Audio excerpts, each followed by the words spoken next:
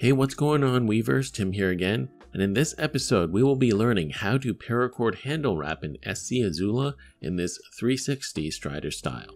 We also did this one with a lanyard and an awesome Bane bead, which is completely optional, of course. I love the way this wrap looks, and with that snake knot lanyard, it came out really nicely. This wrap can definitely be done on other kinds of knives as long as the handle shape permits it. If this is something that you want to see more of on this channel, please like the video and comment down below. And also, if you're enjoying the content on this channel and want to support directly, please check out my Patreon page for awesome perks like exclusive videos and Discord. That being said, let's get into it. To start this one off, we're going to remove the stock micarta scales on this knife.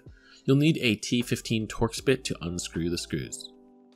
These micarta scales are actually really nice and I quite like them as green micarta is one of my favorite knife handle materials. However, some people might want to change out the micarta for paracord as it does reduce the overall weight of the knife, or they just might want to customize the knife for themselves. So now with these scales off, I've got my paracord that I'm working with. I'm using gold and you'll also need the sheath of the knife unless you're clamping the knife to something to work on.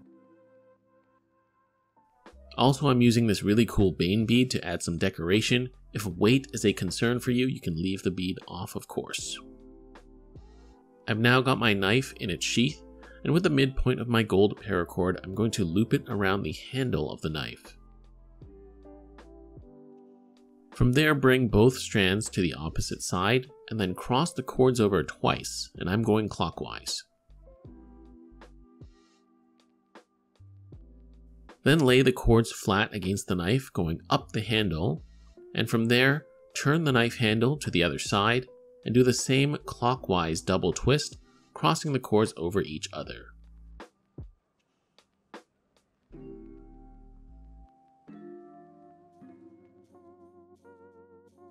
From there, repeat the same pattern over and over to wrap the rest of the knife handle. To achieve the best results, keep some good tension on the cords to keep the twists tight. Also, you'll have to keep the twists in the center of the knife handle to make sure it doesn't look crooked or anything. So just keep doing this double twist pattern until you reach the end of the handle.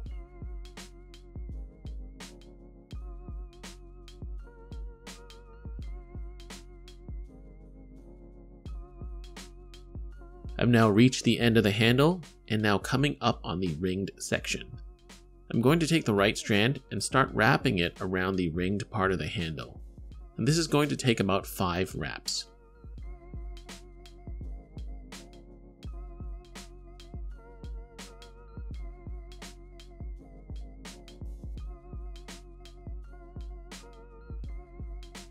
When that's done, you can do the same on the left side, doing 5 wraps as well. You can probably fit in 6 wraps if you really want to.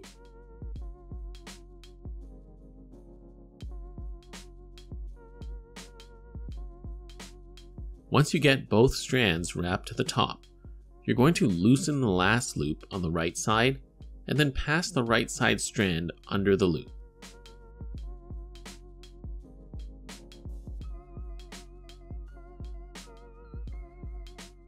Then do the same on the left side, loosen the last loop, and pass the left strand under, bringing it to the middle as well so both running ends are side by side. From here, if you're not tying a lanyard, you can just snip and melt the cords where they are. For me though, I'm going to tie some snake knots. I'm going to loop my left strand around the right, then loop the right around the outside of the left and pass it through the loop on the right. Pull tight and then cinch up that snake knot. So just repeat that process for as many knots as you like. I'm doing 7 snake knots.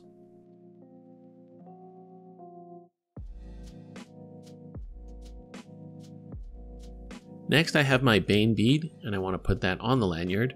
Again, if weight is a concern for you, no need to attach this of course. So I'm just going to pass my cords through the holes on the bead and move it up the strands. Lastly, I'm going to tie a two-strand diamond knot to finish it off. I'm going to make a counterclockwise loop with the right strand laying it over the left. Bring the left side around the right and go under the section under the loop.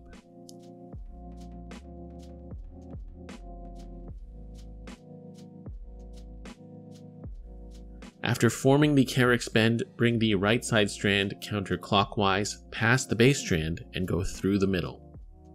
With the left, go counterclockwise past the base strand and go through the middle.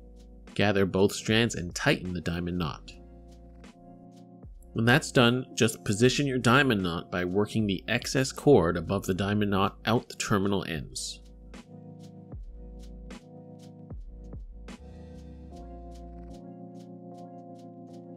Once that's done, just snip the excess cords off at the end. I'm leaving some tails on my lanyard, but you can clip them flush if you want.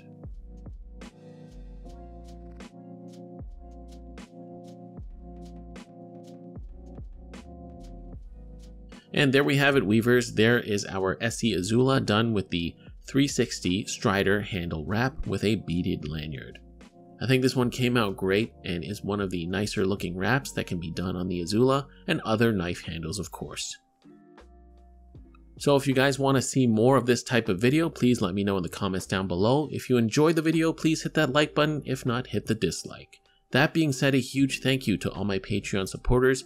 If you want access to exclusive tutorials as well as our Discord server, feel free to check out my Patreon page, link in the video cards as well as down below. You can join for as little as $3 a month. Also, feel free to subscribe if you haven't already.